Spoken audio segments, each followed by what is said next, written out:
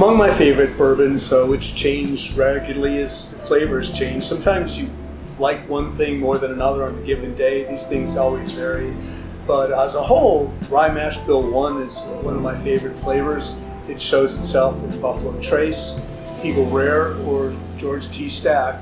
Uh, the Staggs in particular, his cask strength, uh, are very rich and varied. Uh, I love when that works.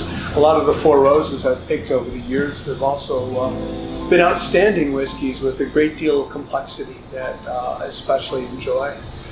Uh, current favorite scotches vary from our Mortlach 25 year single barrel to uh, maybe a committee Ardbeg over the years. There's a Laphroaig that's a 30 year old that's especially good. It's first fill bourbon fill, uh, first fill bourbon cask for 15 years. Then it's dumped into another first fill bourbon cask for another 15 years, giving it 30 years of aging in two different barrels.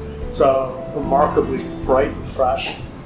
My favorite five whiskeys for beginners, I'd say, is uh, Buffalo Trace because of its richness and balance. And I love the counterpart of uh, Kentucky Spirit versus Russell's. Same mash bill, different alcohol, and uh, different flavor profiles, even with the same mash bill. So it kind of gives you a point counterpoint. Elijah Craig's are always rich and dimensional. They've got a little bit more barley, and it shows a better mid palate than you often see in other whiskeys.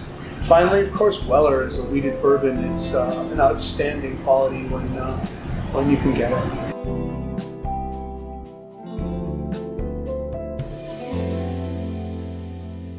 I always recommend downloading uh, Flavor Wheel. You can get that off of Google. Every subject has a flavor wheel Scotch, bourbon, tequila. Um, with the Flavor Wheel, you can get a range, it's a graph, and with the graph are flavors that are articulated or specifically listed that morph into other flavors. So it gives you an idea of how flavors work together.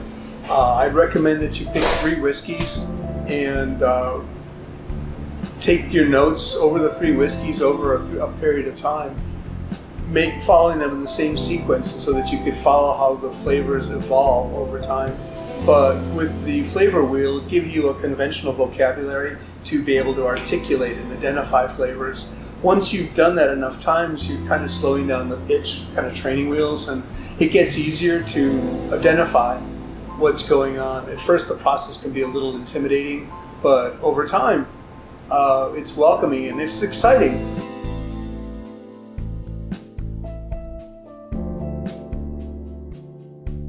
Some of my favorite finishes for bourbons right now are cognacs or ports, but I'd love to see more rum as a finish.